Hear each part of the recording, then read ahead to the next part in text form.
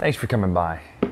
You say, Bryan, aren't you that overwhelmingly positive reviewer for the Dice Tower who seems to always find the good in games and never find anything negative about a game and always does positive reviews? Well, yes. Up until today. But much like Batman's back and Bane, I've been broken.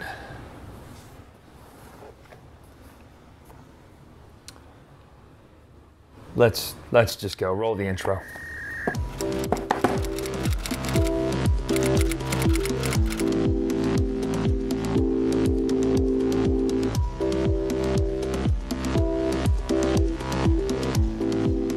So spoilers the game. We played this at game night the other night. It, it's got a movie clackboard, right? That's good. Good art.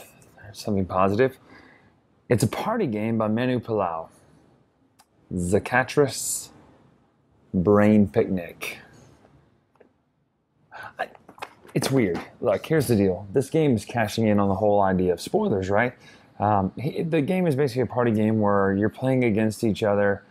Uh, it involves some lying mechanics and bluffing mechanics and things like that. So it's got some interesting concepts. He just hasn't pulled it off. Uh, and specifically, one of the instructions in the in the rule book says once you're done playing, you can tear the cards up and throw them away, or keep them in a bag for later for someone else to try. I think I might just do that with the uh, first part of that rule book. Here's the deal spoilers. Let's look at how it plays first, and then I'll come back and talk. So, this is the basic setup of spoilers. Everyone gets a liometer or a liometer, depending on which country you're from, right? And then uh, it moves. Look, this is cute. I gotta, I gotta say, this is the one shining point of this game is this does look pretty cute when the nose grows. Look at that. If you did that in stop motion, it would look really impressive. It would look like the, look at that. It almost looks like the nose is growing magically. It's crazy. But I'm actually just pulling this card away from this card. Spoiler. Sorry. Uh, so here's how it works. The spoiler person will read a card. They'll draw a card out of the stack. This one is tagline welcome. These are better cards than the ones about certain movies. So welcome. Guess the movie from the tagline. Cool premise, right? Welcome to a world without rules. Pretty obscure. I don't remember that tagline being for The Dark Knight. Anyway, you say A, is it Mad Max 2? B, The Dark Knight? Or C, Alice in Wonderland, right? Well, then the spoiler would recommend, I recommend you pick B if you were going to tell the truth. Because let's just say you're out to here. Well, at the end of the game, you're minus two points. So if you come here, you can bump your nose back in if you're telling the truth. So the spoiler recommends B. They don't know that's the right answer or not.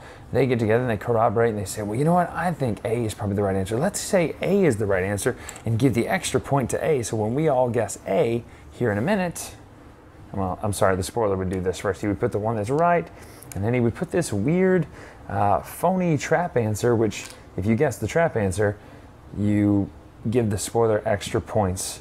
So it's kind of weird. He's trying to trap you at the same time. He's trying to also be helpful. So you can never know what to trust. That is the one interesting concept of the social deduction is you can never, ever, ever know what to trust. Even if this points thing is all the way down to two or all the way up to plus minus two, it doesn't matter because you can keep lying. You just don't lose any more points than that.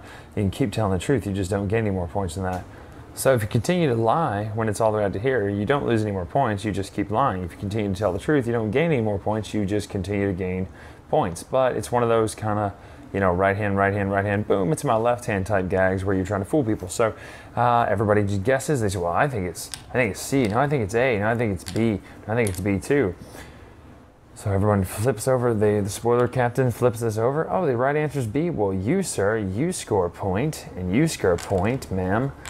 Ah, you got trapped by me. So when you pick the trap answer, as it says up here, you lose extra points. Oh, I lied. It doesn't say it up here because that's one of my other major problems. This rule book is not very helpful at all. It took a long time reading through this two page rule book to get how this game is played. And even then, we were still shaky on the rules. That should never be the case. But the spoiler captain gets points if you get if he gets them or she gets them to pick the trap answer. That's how the spoiler captain gets points. They get points by guessing the right answer plus the extra point. So it kind of tells you exactly what that extra point does. If it's the spoiler, uh, if they put it on the one that's the trap answer, then the spoiler captain gets extra points, or Captain Spoiler gets extra points. Captain Spoiler also a submarine game, right? No, okay.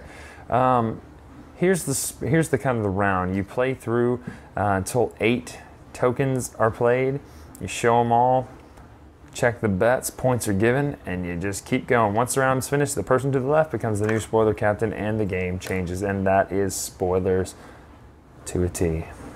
Very sad, disappointing, extendable nose T.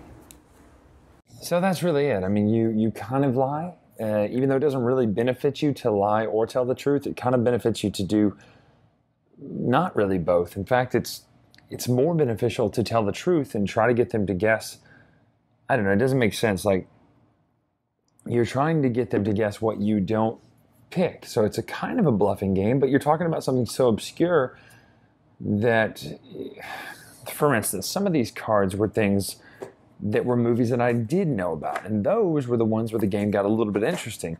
But the ones where it's like, let's see, what's one of these?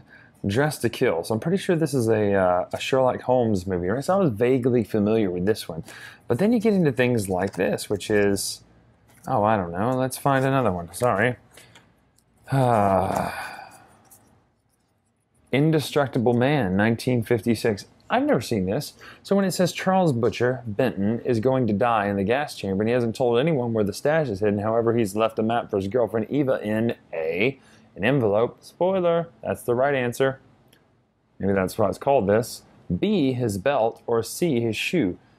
That doesn't mean anything. No one cares. There's no emotional attachment, unfortunately, to any of these answers unless you've seen The Indestructible Man. If you have, you probably would get a great kick out of this. Now, the ones that are fun and ones that are slightly better are the ones like this where it says welcome.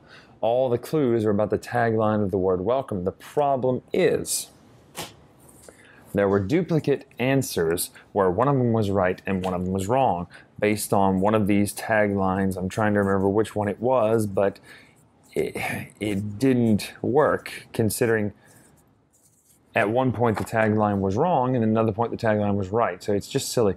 It's a silly game. Like it doesn't make sense. The, the mechanics don't really work. The bluffing doesn't really work. None of it really works out how you want it to. I think it cashes in on the whole idea. People like to say the word spoiler, spoiler. So that's spoilers. You can pass on this game. I just I hate saying that. I hate being the negative guy, but you can pass on this game. It's just it's not fun. It's not that engaging, and the mechanics just aren't there. The game's not really there either. Like I said, it's a clapboard and then a hook to show that you're faking people out. That's it, really. That's that's it. Sorry to be such a dour review on this one, but uh, that's spoilers. For more, check out Bryan Drake. You know, I'm check out at the bottom here the latest retro and we'll be doing some more videos very soon. Tonight, actually, I'm recording a bunch tonight, so um, we'll see ya. Thanks so much for watching the Dice Tower videos. Find more great videos and reviews, as well as our top rated audio podcast at Dicetower.com. You can also find other great shows at Dicetowernetwork.com. I'm Eric Summerer, and you've been watching The Dice Tower. The Dice Tower is sponsored by Cool Stuff Inc., where you can find great games for great prices cool stuff in stock. Check them out at coolstuffinc.com.